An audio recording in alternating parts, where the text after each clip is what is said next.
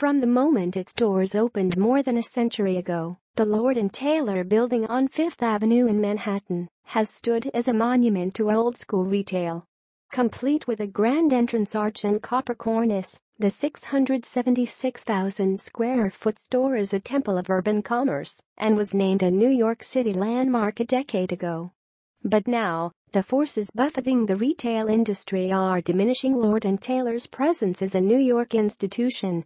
The company that owns the department store chain, Hudson's Bay, said Tuesday that it was selling off the flagship store to WeWork, a seven-year-old startup whose office-sharing model is helping to reinvent the concept of workspace. Lord & Taylor will rent out about a quarter of the building, where it will operate a pared-down department store WeWork will use the rest of the building for its global headquarters and to lease shared office space to its customers. The redesign is expected to come after Christmas of 2018. In selling its Italian Renaissance-style building to a WeWork joint venture for $850 million, Lord and Taylor and Hudson's Bay are acknowledging that even the grand physical shopping spaces of old are now worth more as office space catering to millennials. The department store really is a dinosaur, said Mark A. Cohen, the director of retail studies at Columbia Business School. And its demise is ongoing. As Lord & Taylor struggles to find its footing in the e-commerce age, WeWork is capitalizing on the needs of the new economy. The company is offering flexibility and informality to a generation that is increasingly untethered to traditional offices it allows workers like entrepreneurs or graphic designers to choose the size and style of the space they prefer and to lease it for as long or short as they want. A motto on its website reads, Make a life, not just a living.